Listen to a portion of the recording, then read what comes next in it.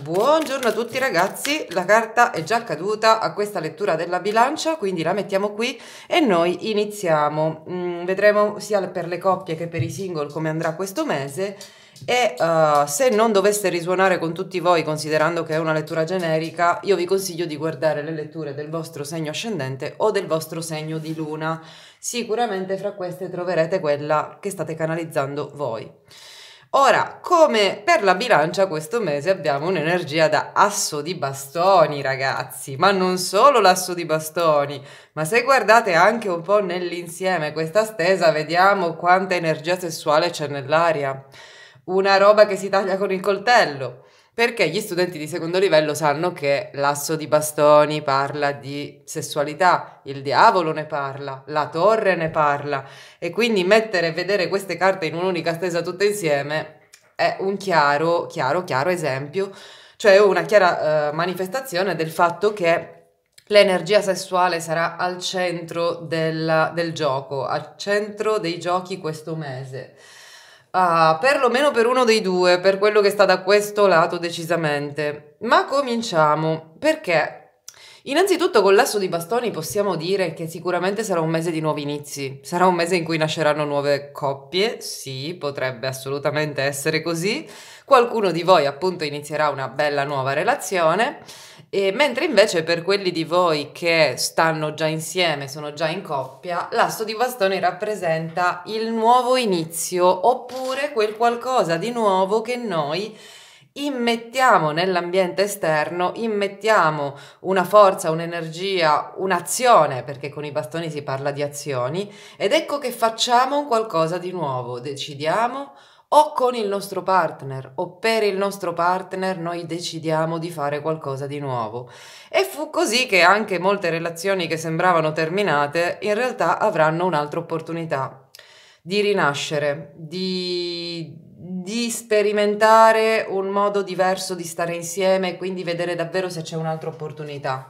Bella energia sicuramente quella dell'asso di bastoni, un asso diritto che promette bene e che ci dice comunque che se noi davvero ci impegniamo in questa cosa, se noi davvero siamo, um, come dire, se noi oltre a mettere le intenzioni buone, siamo anche capaci di uh, migliorare noi stessi in quello che abbiamo sbagliato finora, piuttosto che guardare gli errori dell'altro, questo è un qualcosa che ha tutte le potenzialità per poter funzionare o comunque tutte le potenzialità per poter partire alla grande. La partenza, ragazzi, la partenza è fantastica. Ciò significa che se noi questa partenza la incanaliamo e la indirizziamo nel modo giusto, può portare anche a un buon proseguimento. Ma rimarremo alla partenza per questo mese perché stiamo guardando solo ed esclusivamente questo mese, quindi andiamo un po' più nei dettagli e vediamo in che modo gli eventi si svolgono e le energie si muovono fra i due. Chi sta da questo lato si sente come un'imperatrice, ciò che prova per l'altro è un 9 di bastoni, desidera un 5 di spade, si comporta come un 6 di spade e il suo segreto è il fante di coppe. Dall'altro lato abbiamo una persona che si sente come il diavolo, desidera, prova l'asso di spade, desidera la torre, agisce come una regina di denari e il suo segreto è il 3 di spade. Che cosa si vede da questo? Beh, ragazzi, la solita solfa, la solita storia che quando uno dei due scappa, l'altro lo insegue. Perché è così che siamo fatti, siamo esseri umani e nel momento in cui capiamo che stiamo per perdere qualcosa che fino a ieri era fra le nostre mani o poteva esserlo, ecco che noi ci rendiamo conto che oh mamma mia sta scappando e come faccio se scappa? E allora me lo vado a riprendere. Ecco, dinamica questa per la maggior parte di voi. Ora io comincerei da chi è in coppia, appunto da tutte quelle coppie che comunque da quelle persone che stanno già insieme da un po', ma che stanno questo mese scegliendo di darsi un'altra opportunità e che stanno um, scegliendo di fare anche le cose in modo diverso, perché in effetti è chiaro, quando ci sono all'interno di una relazione delle dinamiche che non funzionano benissimo e che fanno male a uno dei due o entrambi, l'unica cosa da fare è modificarle ed è appunto cambiare punto di vista, cambiare strategia, agire in modo diverso, pensare ovviamente anche in modo diverso ed è qui che aiutano i percorsi di coaching insegnando a pensare in modo diverso, però ecco una volta fatto questo, cosa che si può fare benissimo anche da soli ragazzi, non c'è bisogno del terapeuta, del coach o del counselor, l'importante è che voi capiate qual è il vostro meccanismo disfunzionale e troviate una soluzione alternativa, cioè non dovete dire sono sbagliato, faccio le cose sbagliate, non le devo fare più, perché quello non serve a nulla. Quello che dovete dire è sì, sono sbagliato, faccio le cose sbagliate, allora che cosa posso fare per farle invece correttamente? Questa è la strategia giusta. Ora, per chi è in coppia, quello che si vede è che uno dei due si è sentito un attimo perso, gli è proprio mancato il terreno da sotto i piedi all'idea di non poter più avere l'altra persona, all'idea di perderla e di combinare un patatrack. E, um, e questa situazione ha provocato comunque un forte dolore. Probabilmente questa persona che sta da questo lato non immaginava nemmeno quanto sarebbe stata male all'idea di dover rinunciare all'altra o all'idea di perdere l'altra. Ma appunto, una volta invece capito che il rischio c'era, ecco che tutto torna a galla ed ecco che tornano a galla il bisogno dell'altro con la carta del diavolo, perché il diavolo indica bisogno anche tossicità a volte, perché quando il bisogno non è accompagnato da qualcosa di equilibrato, mm, io ho bisogno di una persona, hmm, beh, un conto è che io ho bisogno di te, tu hai bisogno di me, ma stiamo, e stiamo bene insieme, e un conto è che io ho bisogno di qualcuno che non mi fa star bene o di qualcosa che non mi soddisfa. Quindi a volte il diavolo parla anche di situazioni tossiche, ma in questo caso quello che vedo è semplicemente che questa persona, rendendosi conto che stava perdendo questa, perché questa si stava proprio stufando, ha deciso di andarsela a riprendere e di recuperarla. Ora, mm, in realtà il gesto di andar via nascondeva nascondeva dei sentimenti, o meglio, forse nemmeno li nascondeva perché sì, è chiaro, questa persona era stata male, ci aveva sofferto, aveva, si era comportata in maniera impeccabile, potrei dire, vabbè no, impeccabile no, perché le responsabilità sono sempre al 50 50, però c'è sempre uno dei due che fa di più per mantenere la relazione, c'è sempre uno dei due che dà di più. Ed ecco che io credo che questa fosse la persona che dava di più, che ha resistito fino all'ultimo perché comunque questa cosa era importante perché o il sentimento era forte o la situazione comunque era importante e quindi voleva andare avanti, voleva continuare ed ecco che questo sentimento ha retto, ma a un certo punto, quando si ci rende conto però che bisogna anche ricevere oltre che dare, ecco che si arriva al 5 di spade, e cioè al desiderio di rivalsa, il desiderio di avere quello che ci spetta.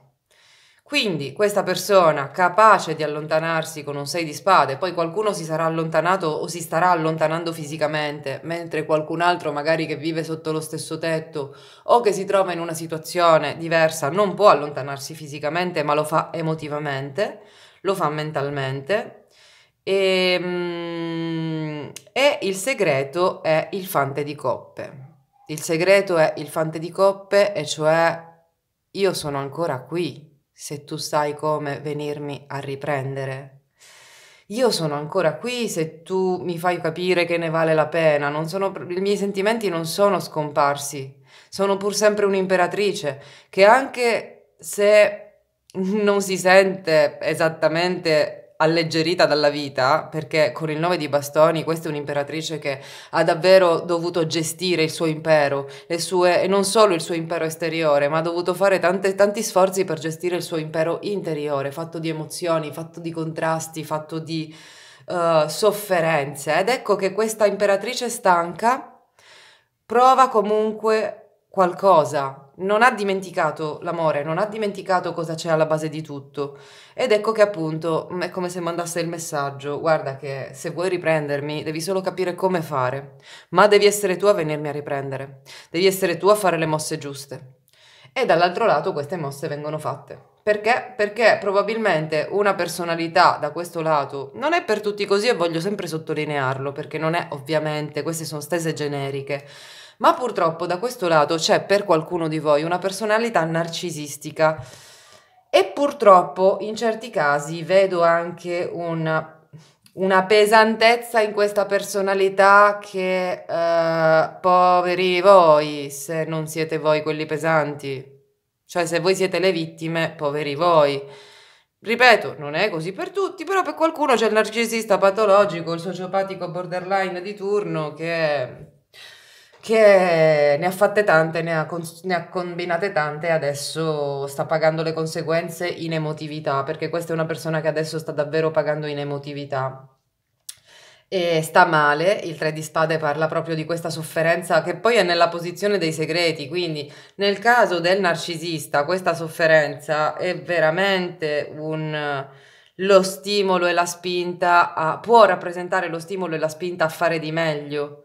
Problema del, delle personalità narcisistiche è che mh, difficilmente senza una guida riescono, tra virgolette, a cambiare, a guarire e Altra cosa, purtroppo, difficilmente le personalità narcisistiche riescono a cambiare, a guarire con una guida. Quindi questa è una cosa che notiamo tutti nel nostro settore, da, dal, dalla psicologia più tradizionale, terapeutica, al coaching, al counseling e a tutte queste nuove tecniche di crescita personale che vengono oggi, che si sviluppano sempre di più, ci si rende conto che le personalità narcisistiche rispetto alle personalità dipen- dipendenti, uh, definite anche masochiste, hanno molta più difficoltà a cambiare, a guarire, perché la loro impostazione di base blocca il desiderio di cambiamento o comunque uh, da un lato blocca il desiderio di cambiamento, dall'altro lato mh, mm, fa apparire questo cambiamento come difficilissimo, quasi impossibile ed ecco che il narcisista per vari motivi, fra cui orgoglio, senso di superiorità rispetto anche al terapeuta che possibilmente potrebbe aiutarlo, non li fa questi percorsi. Uh, però mi dispiace ovviamente per quelli di voi che si trovano con il narcisista patologico, è, è evidente che questo narcisista patologico questo mese potrebbe, um, potrebbe tentare di riprendervi se voi scappate. Allora, adesso parliamo invece di gente più normale, un po' più equilibrata e vediamo quelli di voi che non hanno questa problematica così forte. Sicuramente qualcosa è accaduto e sicuramente voi siete arrivati al limite perché vi siete stancati di sopportare, ma in questo caso appunto come si vede l'altra persona è disposta a riprendere tutto nelle proprie mani e quindi riconquistare l'altro. Sono curiosa di sapere se siete voi quelli che scappano e vengono inseguiti oppure, oppure voi siete quelli che inseguono perché avete fatto la cavolata. Nulla di grave comunque perché la situazione è assolutamente recuperabile, anzi verrà recuperata ragazzi, verrà recuperata. Ci sarà un nuovo inizio, ci sarà un nuovo tentativo. Dunque se questo è quello che temete, non vi preoccupate. Uh, Pachino, che cosa succede? Devi uscire? Scusate, ma sto facendo da dog sitter, quindi non ho solo il mio cane, io in questi giorni ma ne ho due e, e uno si è infilato nello studio. Torno subito. Pachino, vai fuori, amore, dai. Vai da Leila, vai dalla principessa Leila a giocare. Eccomi qui, perdonate l'interruzione. Adesso io direi a quelli che sono in coppia comunque di godersela. Perché? Se voi siete da questo lato e siete quelli che comunque sono stati feriti, sono stati trattati così così e poi si sono rotti le palle, adesso stanno aspettando di vedere uh, delle cose, godetevela perché queste cose arrivano. Perché l'altra persona sta talmente tanto male in questo momento che farebbe qualunque cosa per riprendervi, quindi davvero godetevela. Cioè, se state con un narcisista, se state con una persona anaffettiva, se state con una persona... Um, che ha difficoltà relazionali, ha difficoltà a creare delle relazioni, dei legami reali e profondi, questi sono quei rari momenti in cui quelle persone si aprono e diventano come dei bambini, tirano fuori l'anima. E quindi se sapete come gestire questo momento, potete averne dei benefici. Mm, non dico sul lunghissimo termine, ma di certo sul breve termine sì. Ed è poi, ragazzi, io in queste situazioni io consiglio sempre o una sessione di coaching per chiarirvi le idee, o un pacchetto che oltre alla lettura comprende il coaching, perché quando si tratta di dinamiche relazionali un po' pesanti e tossiche, dove alcuni aspetti malati dell'essere umano entrano in gioco, Mm, è sempre bene avere un parere completo su quello che vi sta succedendo ed è sempre vero, bene capire come risolverlo, quindi eh, facciamo le cose per bene se il caso è questo. Per quelli di voi invece che stanno semplicemente vivendo appunto questo momento di rinascita ed ecco che ritorna la passione, ritorna il fuoco, mi raccomando non cedete troppo presto. Fate se l'altra persona se lo merita, fatela penare un pochino. Se invece l'altra persona non se lo merita perché comunque non ha fatto poi niente di così grave, sappiate che quella persona sta lì per voi. Cosa prova per me? Mi cercherà Impara a leggere la sua mente con il metodo Maya. Iscriviti ai nostri corsi e visita il sito internet www.vocidagliangeli.com. Ma passiamo adesso a chi è single, perché chi è single non sarà più single molto probabilmente questo mese. E non solo la storia d'amore che mi si proietta davanti è quella di una persona che ha desiderato tanto qualcuno e proprio quando era pronta a rinunciare, ecco che questo qualcuno arriva con il suo cavallo bianco. Qui però devo fare una parentesi perché mentre per qualcuno di voi questa persona arriverà davvero sul cavallo bianco come un principe che finalmente vi mostrerà il suo amore, per qualcun altro invece questa persona non arriverà proprio col cavallo. Arriverà, sì, sì, sì, di arrivare arriva, non è quello il punto. Il punto è che, appunto, come dicevo prima quando parlavo delle coppie, se ci sono delle personalità un po' disturbate, un po' narcisistiche, cosa che non è per tutti, ma per qualcuno c'è e si deve dire, e ehm, questa persona potrebbe arrivare con un cavallo di Troia, cioè potrebbe arrivare con un cavallo eh, che in realtà fa più male che bene, che sembra un dono, ma che poi dentro nasconde il nemico. E non è fatto apposta, ragazzi, non è, questa è una cosa che dovete capire. Il narcisista non è contento di essere cattivo o di comportarsi in modo cattivo, perdonate, nessuno è cattivo, ma si ci comporta in modo cattivo. E il narcisista non lo fa perché vuole, non lo fa perché pensa che sia bello o che sia giusto. Se fosse così, ragionate un secondo. Se fosse così, sarebbe ben felice e ben lieto di dirlo ai 420, di parlare del suo egoismo e della sua crudeltà come se fosse la cosa più furba da fare nel mondo. Se queste cose vengono nascoste e le persone manipolano per nascondere la loro vera natura, è perché sanno che è sbagliato, sanno che la società non accetterebbe quei comportamenti. ed ecco perché il cavallo di Troia deve far finta di essere un cavallo, deve, deve far finta di essere un principe azzurro sul cavallo, ma dentro chissà che c'è ed ecco allora che io vi dico, ci sono dei segnali per riconoscere certi tipi di personalità narcisistiche e negli ultimi 3-4 anni sono nati canali bellissimi che ne parlano, veramente bellissimi. E tempo fa era un mio progetto, aprire un, appunto 3-4 anni fa era un mio progetto aprire un, un canale che parlasse di questi argomenti, ma non l'ho fatto per questioni di tempo e comunque ehm, vedo che ci sono altri professionisti molto in gamba che affrontano questi temi in un modo che secondo me è mm, ottimale per farvi comprendere le cose. Quindi io qui ovviamente devo fare la distinzione, devo fare la distinzione fra quelli che si trovano in una mh, mm, in un bellissimo nuovo inizio, bello, pieno di passione. Ragazzi, la passione a go go, quindi qua l'energia sessuale veramente schizza da tutte le parti e soprattutto proprio chi dei due in questo momento sta inseguendo è il portatore sano di energia sessuale, proprio carico, carico, carico. Dall'altra parte c'è chi se la sta un po' tirando e ha anche ragione a tirarsela perché Insomma, c'è un limite a tutto, ma ecco che tutto è bene quel che finisce bene e che le cose prima o poi arrivano. Ma quando arrivano? Quando voi non le volete più. O meglio, quando voi siete disposti a lasciarle andare. Questo è il segreto. Questo è uno dei segreti che spiego nei videocorsi quando si parla di legge d'attrazione, quando si parla di uh, energia, come attrarre di qua, come creare di là, come fare magia di su e di giù. Um, e comunque uno dei eh, messaggi forti che questa stesa manda, soprattutto credo proprio a voi bilance che vi sentite un po' più vittime delle situazioni, non a chi si sente carnefice, ma a chi si sente vittima, devo dire, lascia che le cose e le persone vengano a te. Perché è questo il segreto per non essere vittima, è questo il segreto per poter eh, trovarsi sullo stesso livello.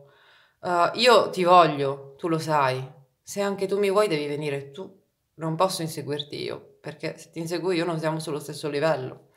Vediamo però che cosa accade nell'incrocio fra il segno della bilancia e i 12 segni dello zodiaco.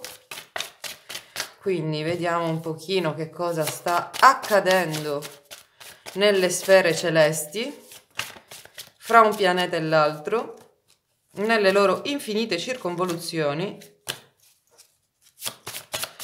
e nel frattempo, ragazzi, io vi ricordo che mentre per avere una sessione privata con me o un pacchetto, il modo migliore è inviare una email o andare sul sito internet, per diventare miei studenti e avere magari semplicemente informazioni sui costi, le promozioni, gli sconti per chi si iscrive a più di un corso, e buono, buono, buono, caduto tutto. Allora io vi consiglio sui videocorsi di inviare un messaggio WhatsApp al 338 81 91 267. Senza impegno vi metterò in contatto con Elisa, la mia collaboratrice.